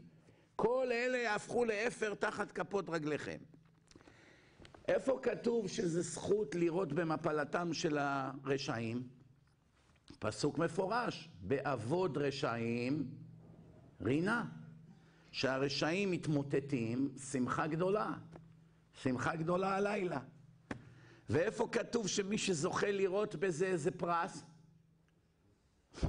לוט היה אחיין של אברהם אבינו. לוט עזב את אברהם והלך לסדום. עזב את בני ברק ועבר לתל אביב. עכשיו שהוא בתל אביב, הקדוש ברוך הוא שולח שלושה מלאכים לסדום להשמיד את סדום. הם כל צועדי מצעדי התועבה שם. הגיע זמנם לשלם על כל המרד שהם מרדו בבורא עולם וחוקי הטבע שהוא קבע. עכשיו זמנם לשלם, אבל יש את האחיין של האיש הכי חשוב בעולם, אברהם אבינו. איך אני אצייר אותו? סוף כל סוף זה בן אחיו. הוא לא מגיע לו לחיות, הוא עבר לשם, מגיע לו למות יחד איתם. אבל אברהם מצטער מזה, ואני לא רוצה לצייר את בני אברהם, אהבתי את אברהם, כתוב בתורה. אברהם הוא אבי. איך אני מסתיר מאברהם את מה שאני הולך לעשות לכל הרשעים האלה? אני חייב לדבר איתו, להכין אותו. אברהם, תראה, אתה עומד לראות עכשיו מיליונים של רשעים נשרפים. כל צועדי המצעדים, כל השמאלנים משתפי הפעולה עם המחבלים. עכשיו מגיע הרגע שאני שורף את כולם. אני מכין אותך למעמד הזה. אני לא רוצה שתופתע. אז עכשיו צריכים להציל את לוט, אין ברירה, הוא בן אחיו של אברהם, יש לו זכות, יש לו מזל, הדוד שלו זה האיש הכי חשוב בעולם. הקדוש ברוך הוא שולח לו מלאכים להציל אותו, והמלאכים אומרים לו, תיזהרו לא להסתובב ולא לראות איך הרשעים של סדום נשרפים, כי אתם הייתם צריכים להישרף יחד איתם. אתם ניצלים לא בזכותכם, בזכות אברהם. לכן אין לכם זכות לראות את הסוף של הרשעים. זה פרס. לא מגיע לכם הפרס הזה. תיזהרו לא להסתובב, אבל אשתו של לוט סקרנית הייתה. הסתובבה ונהפכה לנציב של מלח. זאת אומרת, אם לוט ואחרים היו מסתובבים, גם הם היו מתים. הבנות וזה. מה רואים מפה? אומרים חז"ל, שלראות את הסוף של הרשעים זה פרט, צריכים לקנות כרטיס, חביבי. לשבת שורה ראשונה, VIP. לשלם כדי לראות את הסוף של הרשעים האלה, ולא להיות יפה נפש, פוליטיקלי קורקט. לא, אסור לדבר ככה, השם אוהב את כולם, שקר וכזב. השם לא אוהב אנשים ששורפים את התורה שלו יום ולילה. מי הטיפש שיגיד כזו שטות? זה אנשים חסרי שכל. חסרי שכל, הם לא יודעים א' ב' של יהדות. אומר הרב אביגדור מילר מאות פעמים, גדול הרבנים שהיו בדורנו בהשקפה, לא קם לו שני, ענק שבענקים, איזה זכות הייתה שבדור שלנו חי אדם כזה. עשרות פעמים בתשובות שלו הוא מדבר על הרשעים ומה הסוף שלהם וכמה צריכים לשמוח. לא רק זה, הוא אומר דבר ענק, ענק, אי אפשר להאמין כזה דבר. כל בוקר בתפילה אנחנו אומרים את זה ולא שמים לב. מה אנחנו אומרים? אל נקמות אדוני, אל נקמות הופיע. שומעים? ינסה שופט הארץ, אשב גמול על גאים. מה פירוש הפסוק הזה? תשמעו טוב. הקדוש ברוך הוא נוקם ברשעים. נקם בפרעה, נקם באמן, נקם בהרבה רשעים עד היום. אז השם, כבוד גדול הוא שהוא נוקם ברשעים. כתוב בשלושה עשר עיקרים של היהדות שהקדוש ברוך הוא משלם שכר טוב לצדיקים ומעניש לרשעים. אז אנחנו אומרים, אל נקמות אדוני, אל נקמות הופיע. יבוא יום שהוא יופיע בצורה הזאת של אל נוקם וזועם. נו, ואז מה? הינשא שופט הארץ, הקדוש ברוך הוא שופט כל הארץ, שופט כל הארץ לא יעשה משפט, זה מה שאברהם אמר לו, כן? אז יינשא, מה זה יינשא? יעלה למדרגה גבוהה, יינשא שופט הארץ, מתי? השב גמול על גאים, כשהוא משלם לגאים, לרשעים, לגאוותנים, מה שמגיע להם. כמו הטייס הטיפש הזה, שמינו אותו לשר הדתות, למרות שלא יודע לקרוא עברית אפילו. בחיים שלו לא למד הלכה אחת ברמב"ם. דף גמרא אחד הוא לא יודע. מה לך ולדתות שותה כמוך? לך תטוס על מטוסים, תירה טילים. בזה אתה אלוף, אנחנו לא מתקרבים אליך. אתה יודע לטוס יותר טוב מכל החרדים, יותר טוב מכל הרבנים, אתה יודע להפציץ ולהרוג, אין יותר טוב ממך בזה. אנחנו לא יודעים. לא למדנו, אנחנו בורים ועמי ארצות בטיסה. אבל אתה בדעת שוטה וגס רוח ובור ועם הארץ.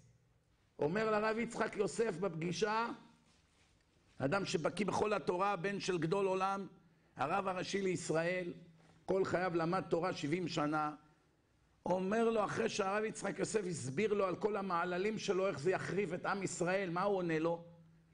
טוב, אדוני הרב, לי ולך יש חילוקי דעות בנושאים האלה. מי אתה בכלל אתה? אתה גרגיר של אבק לא לידו. מה, אתה יודע מה שהוא יודע? אתה יודע רבע אחוז מה שהוא יודע? מה אתה כן יודע? למדת בישיבה 30-50 שנה? מה אתה יודע? כתבת איזה ספר? אתה מבין איזה רמב"ם אחד לעומק? איזה דף... תוספות אחד אתה יודע לקרוא? מה פתאום? כלום אתה לא יודע. מה עכשיו שמו אותך תפקיד פוליטי, שמו אותך כבובה שלהם כדי להשמיד את היהדות עם הכיפונת, השקל הזה שיש לך על הראש? ואתה עכשיו רוצה לשנות את הרפורמות של הקדוש ברוך הוא? אחרי שלושת אלפים שלוש מאות שנה? מה, אתה עד כדי כך מטומטם? זה מה שקורה היום. אומר הרב יצחק יוסף לאחד שסיפר לי את הסיפור, מאז ומעולם היו כאן שרי דתות שלא ידעו הרבה דת, אבל כולם הבינו. אני, לעומת הרב הראשי שיושב איתי עכשיו, אני הרי לא מבין אחוז מה שהוא מבין. אז אם הוא אומר לי כך וכך וכך, אז אני מבין שהוא צודק, הוא, הוא המומחה בדת. כמו שאני לא מומחה ברפואה, יבוא לי גדול הפרופסורים, יסביר לי על איזה מחלה מסוימת, אז אני מתבטל בפניו. אם אני לא מבין במחשבים ויבוא לי האדם, האיש מחשבים הכי גדול שיש בארץ, והוא יסביר לי על דברים מסוימים שהמחשב יכול לעשות, לא יעשות, כדאי, לא כדאי, אני מיד מתבטל בפניו. יגידו לי, למה, למה אתה לא מדבר? איך אני אדבר בפני אדם כזה גדול במחשבים? מה, אני יודע אחוז ממנו? אני מכיר בערכי בנושא. אבל למה השוטה הזה לא מכיר בערכו? בגלל שהוא טייס קרב. ואת הטייסי קרב פה, כל אחד מהם פיצצו באגו. פיצצו אותם בגאווה, כל אחד מהם חושב שהוא אלוהים. מסתובבים ככה כמו טווסים נפוחים. אני יודע, אני הייתי בחיל האוויר, אני ראיתי אותם יום יום. אחד ואחד יותר גאוותן שרוח מהשני. אנשים שעובדים בשבילם, וקשרו אותם, וניקו אותם, והכינו להם את המטוסים, הם לא אומרים לך שלום במשך שלוש שנים. שלוש שנים הוא מגיע לעלות על ה-F-16, אנחנו מסדרים לו, ומורידים אותו, ומביאים לו את הסולם, ומורידים לו את כל הכיסויים, ומכינים אותו כדי שלא ימות.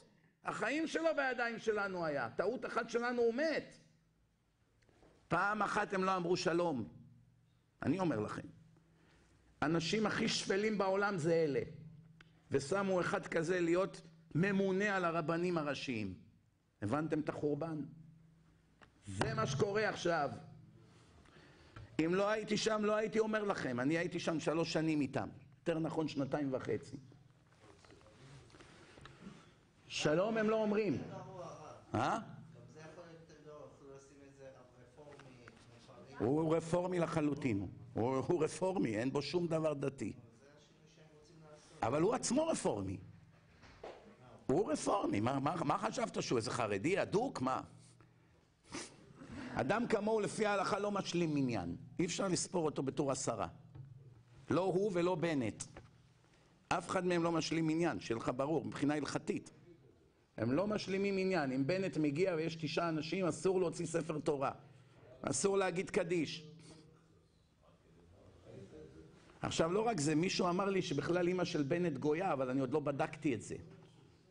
שהיא גיורת רפורמית מסן פרנסיסקו. אם זה נכון, אז עכשיו הכל ברור. אבל כיוון שאני עוד לא יודע, אני עוד לא בדקתי, לכן אני לא יודע. אני רק אומר שכבר שמעתי את זה משני אנשים, שאמרו שאימא שלו גויה. ואם זה נכון, אז מה אתה רוצה? מה, יכול להיות שאימא שלו מזרע עמלק, אז זה מובן. הבנתם רבותיי? איי איי איי, אבל עוד פעם, אנחנו מה שלא יודעים לא מתחייבים. מה שיודעים אומרים בוודאי. על הטייסים אני ראיתי בעיניים. לכן אני אומר לכם, זה מה שהיה אז והיום זה הרבה יותר גרוע. כי האופי של האנשים מלפני 40-30 שנה, לעומת האופי של האנשים בדור הזה, אני לא צריך לספר לכם איזו הידרדרות מוסרית יש היום. מכל הבחינות. אני לא אשכח, היה טייס אחד בשם ארז, גבוה, יפה תואר. הוא היה הטייס היחיד שדיבר איתנו. כולם היו אוהבים אותו, רק בגלל שהוא מדבר איתנו. אומר שלום.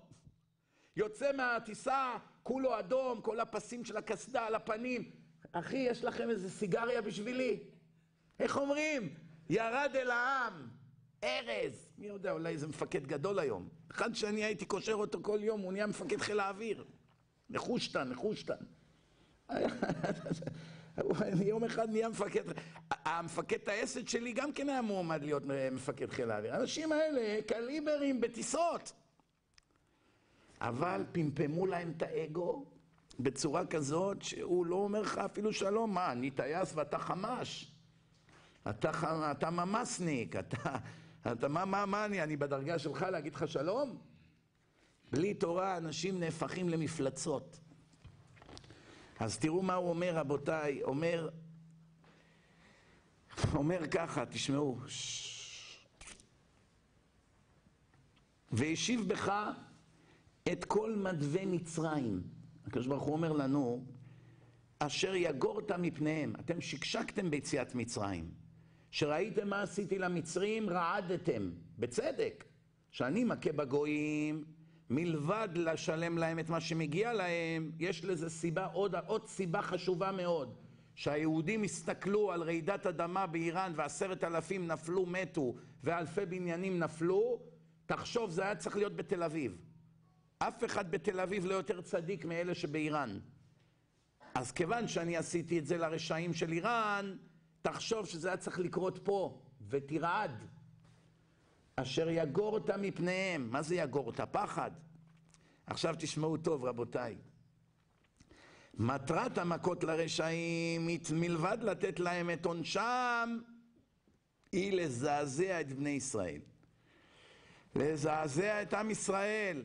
והקדוש ברוך הוא אומר, וחיזקתי את לב פרעה, ורדף אחריהם, ויקבדה בפרעה. מה זה ויקבדה בפרעה?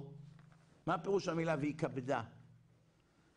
אני, כבודי יעלה. מתי כבודי יעלה? אתם שומעים? מתי כבודי יעלה? שאני משלם לרשעים ונותן להם מה שמגיע להם, אז כבודי מתעלה. אומר, תשמעו טוב מה הוא אומר, אומר איך כבודו של הקדוש ברוך הוא מתעלה? על ידי שהוא משלם לרשעים את מה שמגיע להם. ומה הוא אומר? תשמעו טוב. וחיזקתי את לב פרעה ורדף אחריהם ויכבדה בפרעה וכל חילו וידעו מצרים כי אני השם. איך הם ידעו כי אני השם? שאני ארחיק עליהם כמה סתירות, הם יבינו טוב טוב מי זה הקדוש ברוך הוא. רש"י, לא אני, שלא תגידו אני אמרתי. אני מצטט לכם את דברי רש"י. רש"י אומר, כשהקדוש ברוך הוא מתנקם ברשעים, שומעים? שמו מתגדל ומתכבד, שנאמר, ונשפטתי אותו, ואחר כך נאמר, והתגדלתי והתקדשתי ונודעתי. שמעתם? מתי כבודי עולה? שאתה רואה את כל אנשי השמאל שונאי התורה, כל אחד יקבל את מה שמגיע לו. אז כבודי יעלה. זה מה שנקרא לתקן עולם במלכות שדי. ולפני שמסיימים, רבותיי,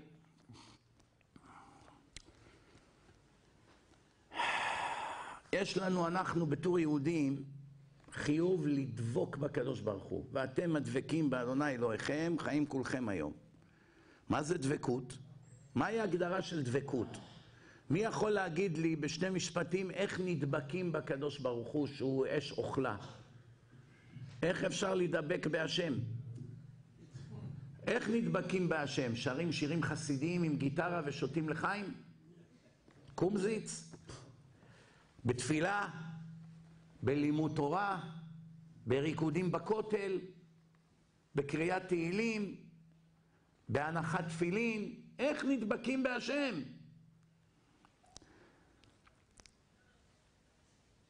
והתשובה היא, רבותיי, שימו לב טוב להגדרה. סילוק הדברים שגורמים להיסח הדעת בעבודת השם. זה נקרא דבקות. מה זה דבקות? תשמעו טוב. הקדוש ברוך הוא הוא מגנט ענק. כל אחד מאיתנו יצא ממנו. הנשמה שלנו יצאה מהנשמה של הקדוש ברוך הוא. חלק אלוה ממעל. כל אחד מאיתנו הוא חלקיק ברזל קטן. כל הברזלים שואפים להידבק למגנט, כל הזמן. אם אני מכניס ספר בין המגנט לבין הברזל, מה קורה? נהיה פירוד. הוא לא מגיע הברזל יותר למגנט. מה? כי יש מחיצה בין המגנט לבין הברזל. יש מחיצה. שמעו טוב. אתה רוצה דבקות? אתה צריך להסיר את הפירודים שיש. עכשיו, כמה שאדם עושה יותר עבירות, נהיה לו יותר קליפות על הנשמה. עוד קליפה ועוד קליפה ועוד קליפה. זה סוגר את האור של הנשמה. להבדיל מהמגנט, פה מדובר על אור, אור אין סוף. הקדוש ברוך הוא אור אין סוף, אור רוחני, והנשמה היא אור. והאור הזה הוא ממוגנט לאור הגדול, אבל ברגע ששמים קליפות, כמו תפוז, יש לו קליפה ועוד קליפה ועוד קליפה ועוד קליפה, אי אפשר להגיע אליו. אבל ברגע שתתחיל להוריד קליפה ועוד קליפה ועוד קליפה, הופ, פרץ החוצה. איך שהוסרו כל הקליפות, הנשמה היא נדבקת בקדוש ברוך הוא, ומי אתה נהיה? הרב עדס. כל היום שירים ותפילות ובכיות, אין לך כלום, עולם הזה לא מעניין אותך אוכל, לא מעניין אותך כלום. שום דבר, כסף, שום דבר. כסף לא מעניין אותך. איזו אישה אחת פרסייה אמריקאית אמרה לי, אתה יכול לעשות לי טובה שהרב עדס יתפלל לבת שלי, היא חולה. אמרתי לה, אין בשום בעיה, הנה, אני שמתי פה אלף דולר במעטפה, הנה השם שלה רשום על המעטפה, תבקש ממנו לברך אותה ולהתפלל עליה. שלחתי את זה עם מישהו שהולך להתפלל כל בוקר נץ בכותל, הוא אומר לי, אתה לא תאמין, אני באתי לשם לפני התפילה, באתי לרב אדס, שלחו מאמריקה, בחורה חולה וזה, הנה, היא שמה פה אלף דולר, בבקשה תתפלל עליה. אומר, אני לא רוצה להאריך את הכסף, אני אתפלל עליה. אומר, לא, אבל הם ביקשו ממש לתת לך, כאילו למנות אותך, זה לא סתם הכסף. אמר, אני אתפלל עליה כל יום, בלי לקחת את הכסף. תחזיר לה את הכסף.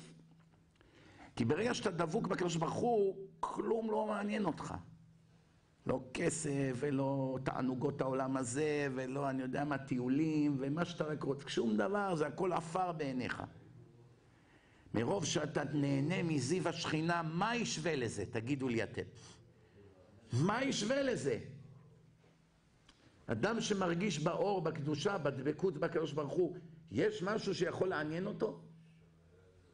אני לא אשכח, הרב משה מלכה זצ"ל היה בא אלינו לישיבה, היה שומע שאנחנו בערב שבת הולכים לשחק כדורגל. רוצים קצת לעשות ספורט, מה נעשה? כל השבוע לא זזים. אמר, מה? הולכים לשחק כדורגל? איך זה יכול להיות? איך זה יכול להיות? כאילו, לא הבין איך זה ייתכן. מה זה בן אדם שדבוק בקדוש ברוך הוא הולך לשחק כדורגל? הוא לא הבין, כבוד הרב, זה לא בשביל הכדורגל, זה בשביל לרוץ קצת. לא הצליח להבין. למה? כל הזמן היה דבוק בהשם, שלוש שעות תפילה, בשבת היה בוכה. שבת בישיבה מתפלל בבכיות, כמו יום כיפור, תפילת נעילה. איזה רב אחד אמר לי, תשמע, זה לא טוב שהוא בא לישיבה. אני אומר לו, מה?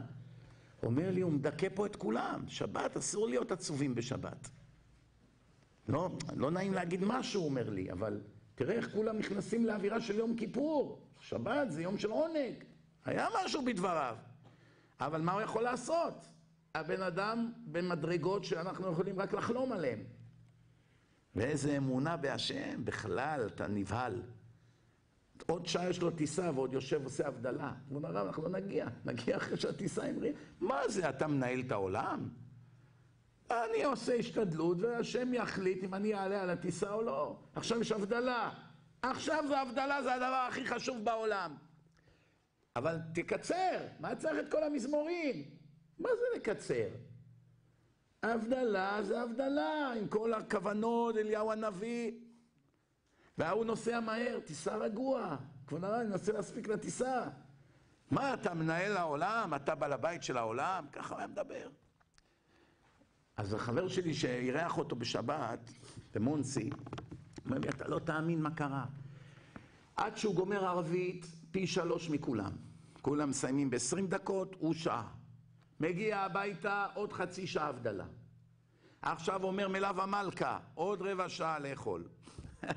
עכשיו הטיסה 12 ומשהו בלילה, ויש שעה ומשהו נסיעה ממונסי, שעה וחצי. זאת אומרת, אתה צריך להיות שם לפני 11, אתה צריך לצאת תשע וחצי, והוא עכשיו בעשר אומר, תביאו מלאו המלכה. יעני, אין שום סיכוי להגיע בכלל. מה, אתה צריך להיות מינימום שעה וחצי לפני הטיסה. והוא עכשיו עוד אומר, תביא סעודה וברכת המזון רבע שעה, ובסוף נכנס למטוס. עכשיו הוא אומר, תשמע, הטיסה 12 וחצי, אני עכשיו 11 יוצא רק ממונסי. זאת אומרת, אני אגיע בשנייה שהמטוס ממריא. מה עם ביטחון, מה עם לעמוד בתור, לתת את המזוודה? אין סיכוי.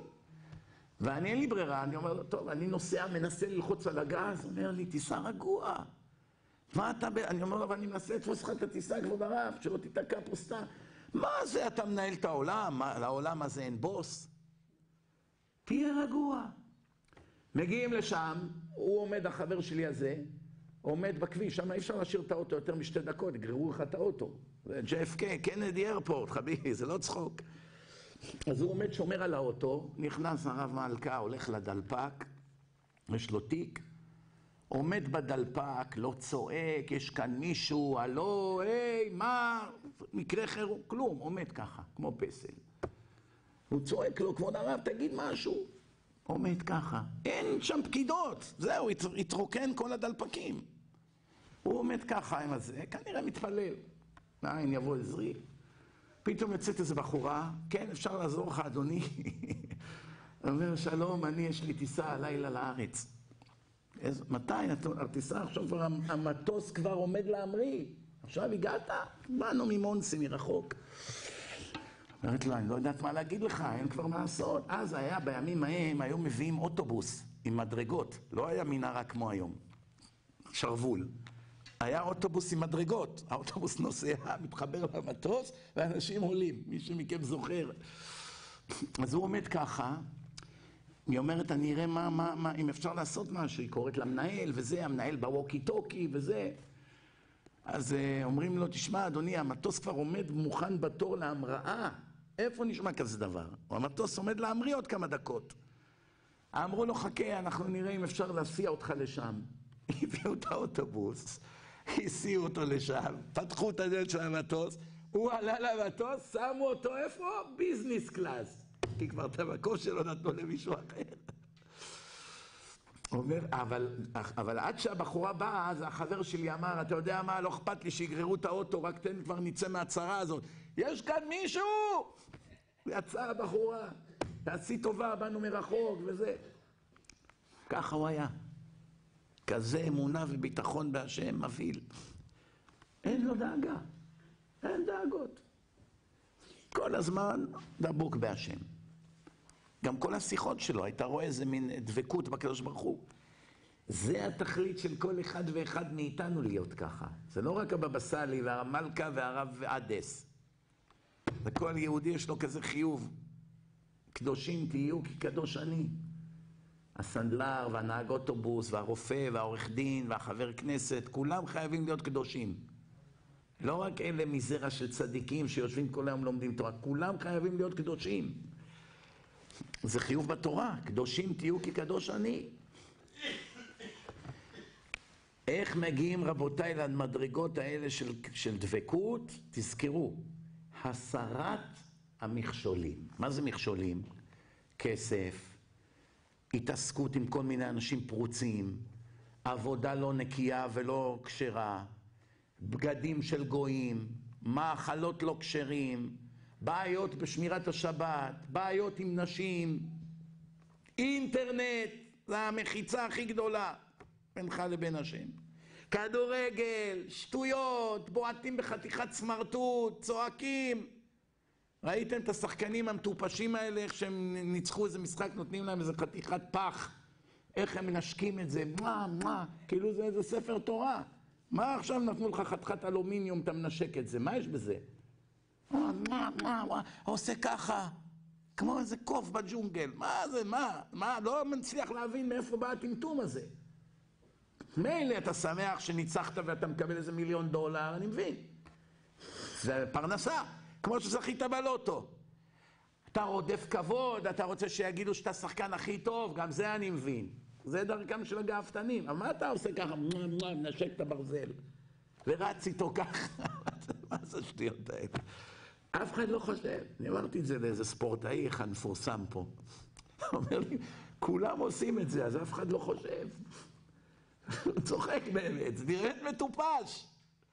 תחשבו, אנשים רצים למשחק, משלמים כסף, עומדים בגשם, איזה שחקן מזימבבואה נתן בעיטה בחתיכת אור, והכדור פגע ברשת, ועכשיו ההוא צורח ובוכה ו...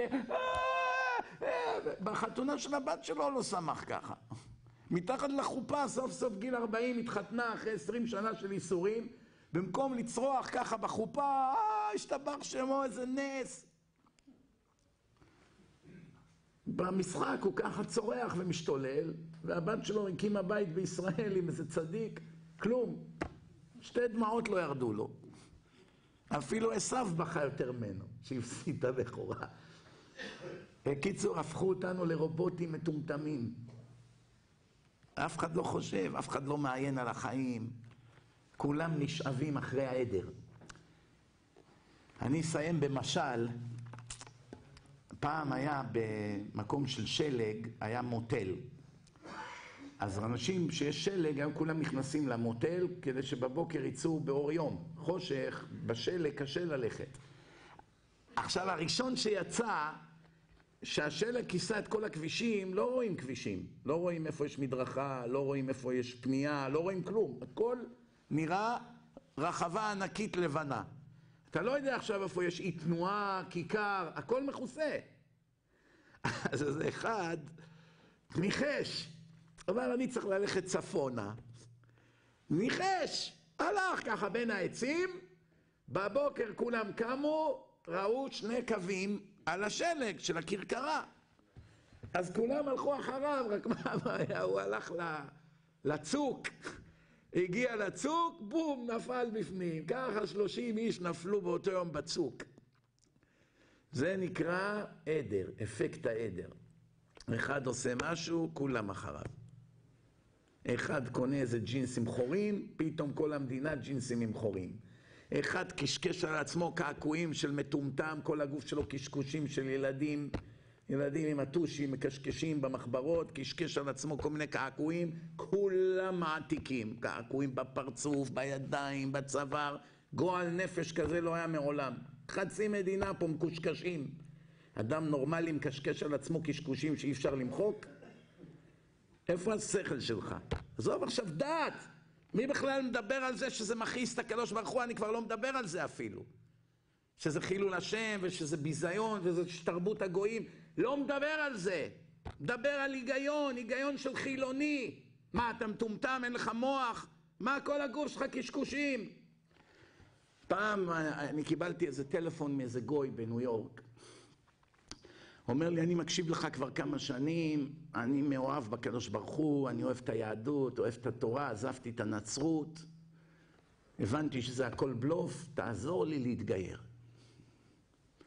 אמרתי לו, בסדר, ביום שלישי אני נותן דרשה, בכתובת כך וכך, תבוא, אני רוצה להכיר אותך. בוא נראה מי זה. מגיע, חשכו עיניי. חשכו עיניי. אני מסתכל על הגוי הזה, אין מילימטר בעור שלו בלי קעקוע. ידיים, רגליים, צוואר, אפילו פה באצבעות היה לו כתוב משהו. כל, הכל קעקועים. אמרתי, אם בחלקים שחשופים ככה הכל מקושקש, מי יודע מה יש לו מתחת לחולצה? אמרתי לו, תגיד, אני רואה שאתה חובב קעקועים. אומר, הייתי פעם. עכשיו אני מבין איזה שטות זאת. אמרתי לו, יש לך גם קעקועים בגוף? אני כבר חושב על הרגע שאני אשלח אותו לבית דין, והוא יוריד את החולצה כדי להיכנס במקווה, והרבנים יקבלו את השוק של החיים שלהם, אולי הוא שם איזו אישה ערומה על הגב, אני יודע מה הטמטום שלהם היום. אומר לי, יש לי קעקועים בגוף. אני אומר לו, אתה יכול מחר לשלוח לי תמונות איזה קעקועים יש לך על, על הגוף, שיהיה בושות. שולח לי תמונה, מה יש לו על הגב? יושקה. צלב ענק, ויושקה ככה תלוי על, ה, על הצלב. יושקה. אמרתי, וואלה, הרב בבית דין יראה את התמונה הזאת, יעיף אותי עשרים שנה לבידוד. אז אני אמרתי לו, תשמע, אני באמת הייתי שמח לעזור לך להתגייר, אבל מה, לא רוצה להרוס לך את החיים. אומר לי, למה? אני אומר לו, תחשוב, עכשיו אתה תתגייר, תהיה יהודי. מי תתחתן איתך? איזה בחורה חרדית תסכים להתחתן עם בן אדם שכל הגוף שלו קשקושים, קעקועים ותמונה של יושקה על צלב? כל פעם שתהיה איתך, היא צריכה להסתכל על הצלב הזה? זה דבר ראשון. נגיד ונמצא את המשוגעת הזאת שמסכימה כבר, שלא אכפת לה מהבושות. יהיה לך ילדים, אתה תצטרך לקחת אותם לישיבה, אתה תבוא שם עם כל הקעקועים, כל הילדים הדתיים יראו את, את, את האבא של החבר שלהם. אתה יודע איזה ביזיונות יהיה לך? מה הוא עונה לי? חשבתי כבר על כל זה. שווה לי את כל הסבל שבעולם, מה? כדי להיות יהודי. בלב שלי אני אומר, תראה, אנשים שנולדו לרבנים פה עושים טובה שמניחים תפילין, וזה מוכן לקבל את כל הביזיונות, העיקר שיהיה יהודי. שאלתי את האב בית דין, אמרתי לו, כך וכך הם התנאים. אתה רוצה לגייר אותו? אומר בעלי תשובה, מקום שבעלי תשובה עומדים, מה שעשה, עשה שטויות. עכשיו הוא כבר בן אדם אחר. אבל זה מה שאני מראה לכם, רבותיי. זה מזכיר לי עכשיו, נסיים בבדיחה. אחד היה לו תוכי בתוך הכלוב, וממול התוכי היה לו ככה צלב עם יושקה ככה על הצלב. זה נוצרי אחד. עכשיו התוכי הזה מדי פעם היה יוצא מהכלוב, קופץ על הטלפון, טק טק טק טק, מחייג מספרים, מחייג לסין, מחייג לאירופה, משאיר ככה את הטלפון פתוח שלוש שעות, סוף החודש הבן אדם בא, רואה עשרת אלפים שקל חשבון טלפון. מה הולך פה? אני גר לבד עם תוכי, מה אתה עושה? הכניס לו סטירות, תיזהר. שום דבר לא עוזר, התוכי בשלו. בסוף הוא אומר לתוכי, תשמע טוב, אם אתה עוד פעם תזיז את הטלפון ותקפוץ על, הכפ... על הלחצנים, אני תולה אותך פה על הקיר עם שתי מסמרים, ככה עם הכנפיים, עד שתמות. אבל התוכי יש לו את המחלה שלו, עוד פעם חייג. מה עשה הבן אדם? תפס אותו, תקע אותו עם שתי מסמרים על הקיר. עכשיו התוכי תקוע ככה, פתאום הוא רואה ממול את יושקה גם כן תקוע. אומר לו, תגיד, מה, גם אותך תלו פה? אומר, כן. אומר, כמה זמן אתה כבר על הצלב הזה? אומר לו, וואלה, אלפיים שנה. אומר, וואו, וואו, מי יודע כמה שיחות עשית? יהי רצון בעזרת השם שאנחנו נלמד מוסר מהדרשה הזאת, להתחזק, להידבק בקדוש ברוך הוא, למאוס בשקר, להתרחק מהרשעים ולהפסיק להוריד את הראש בפניהם. לא לפחד, לא להיות politically correct ולא להיות מזויף. יש צדיקים, צריך להעריץ אותם, לדבוק בהם. יש רשעים, למאוס בהם, בכל מחיר. להשפיל אותם עד עפר, כי ככה השם אמר. ברוך אדוני לעולם, אמן ואמן.